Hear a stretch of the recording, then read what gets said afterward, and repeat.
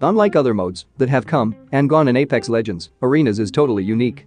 Past modes have put a spin on the main game, with map changes, loot changes, or wholesale gameplay changes, such as the Winter Express LTM. The first leak regarding Arena mode came back in October when reliable leaker Shrugtal pointed out that the name had been added to Battle Royale's code, referencing a 3v3 mode. A full reveal for the Arenas mode will take place on Monday, April 26. But a number of different leaks have surfaced regarding potential locations, how it will work. Put simply, we expect it will be a deathmatch style mode. Leaks have pointed towards a 3v3 game mode, which makes sense given Apex Legends' general emphasis on trios in the Battle Royale too. Respawn have suggested that this mode will be treated as a full game, not just an afterthought. So, we can expect unique rules and perhaps even some unique gameplay altering changes that differ from the Battle Royale. One thing is for sure though, it will have its own maps. In terms of the different locations for these arenas, Shrugtal leaked in January that at least seven different Kings Canyon spots were being tested.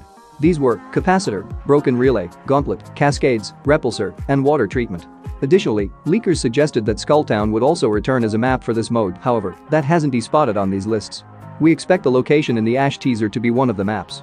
Just like with other modes, there will be cosmetic rewards on offer in the form of badges for your player card. We also expect that there will be unique awards only earnable through playing arenas and specific challenges for this mode. Leakers have also said that arenas will have some form of rank component, so it won't just be a casual fun mode all the time. Whether the rank system is tied in with the main rank tiers of the Battle Royale remains to be seen. All in all, we'll have to wait until closer to Season 9 for more details, either from leakers or Respawn themselves.